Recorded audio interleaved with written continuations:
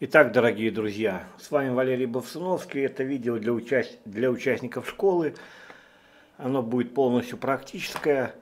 А, а тем людям, которые смотрят, по крайней мере, получат понимание, что делать.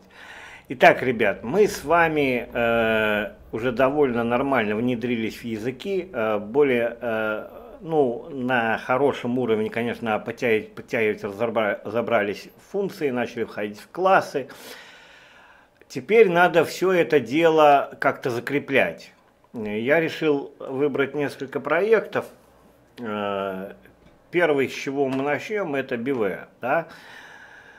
Э, что это такое? В этом видео рассмотрим, что это такое. Давайте сразу покажу. Смысл проекта следующий. Я буду показывать и рассказывать. Э, э, здесь можно писать э, дископное приложение, потом пригнать его сразу в Android приложение или iOS, и можно сделать веб-приложение. Вот, вот на реализации можно сделать страницей Django будет, да, допустим. Здесь я тренировался, это выборка.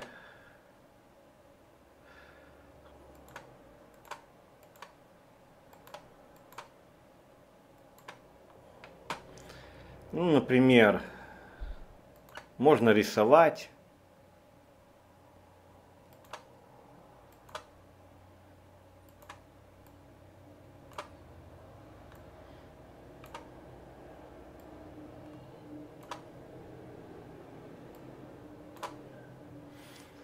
Ну, например, можно делать деревья.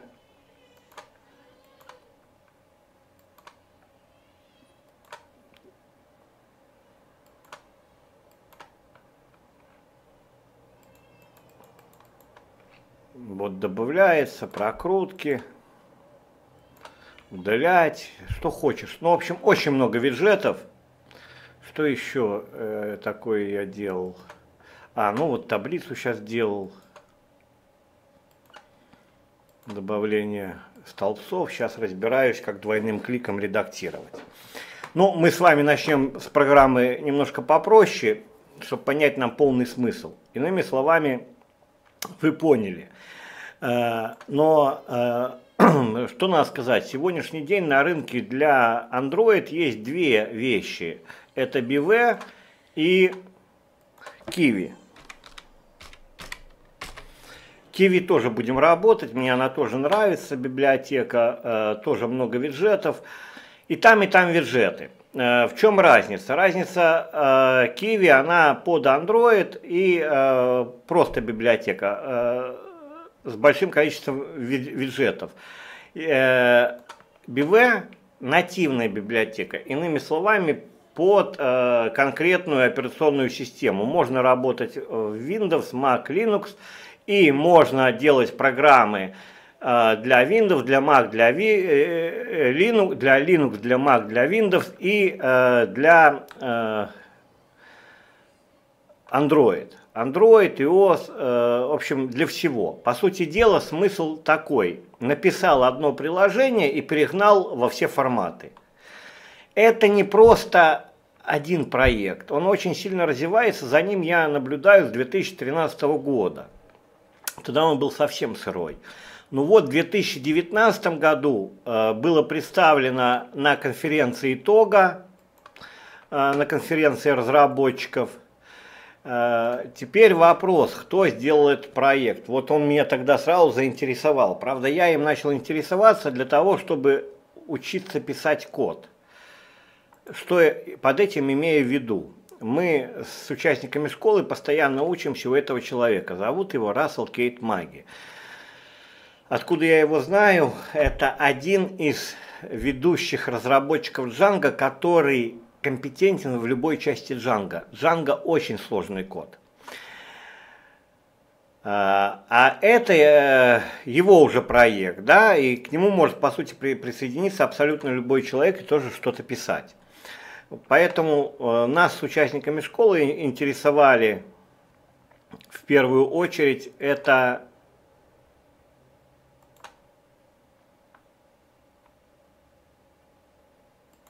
как э, пишет код, да, как пишется код, как э, делают комментарии, то есть э, сама структура. Именно у таких людей надо учиться. Делают сейчас довольно много людей этот проект. Но это не только один проект. Это группа проектов, ребята, на самом деле. Это большая группа проектов.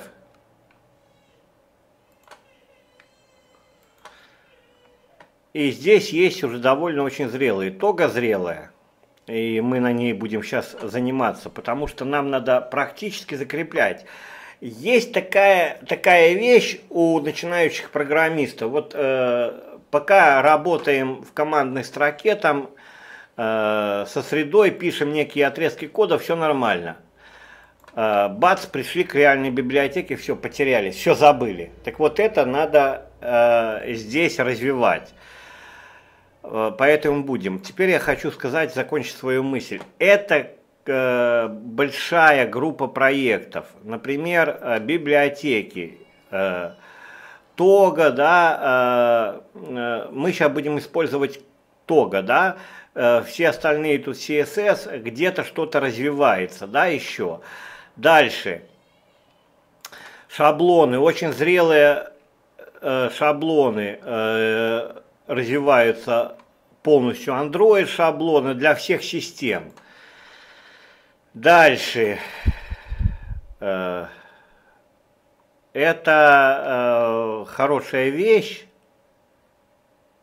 для слайдов. Например, есть, э, конечно, презентация там PowerPoint, но она э, совершенно негодна для программистов. Так вот, команда решила сейчас написать э, классную для презентации, которая годна именно для программистов, чтобы было удобно работать с кодом.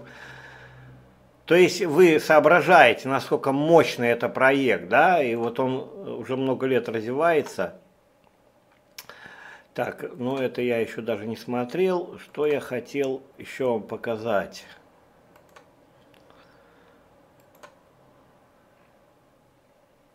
Ну-ну-ну-ну-ну. Кроме этого, э, здесь э, развивается куча Э, то есть утилиты, отладчики, э, потом э, чтение документации и многое-много-много-многое другое. По сути дела, это группа проектов, чтобы вы могли, мы с вами могли и работать удобно, и, значит, править ошибки, то есть и все работает на, автом, на автома, в автомате, да, на автомате. Так как я, я, как я понимаю, так как э, Рассел Кейт Маги являл, является одним из ведущих разработчиков Django, то Тога э, работает так же, как Django. То есть, по сути дела, по сути дела, по принципу, вот как в Django работает ManagePy. Здесь для этого есть инструмент портфель, который очень зрелый, очень развит. И по сути дела, все, что мы будем делать, будет делаться на автомате.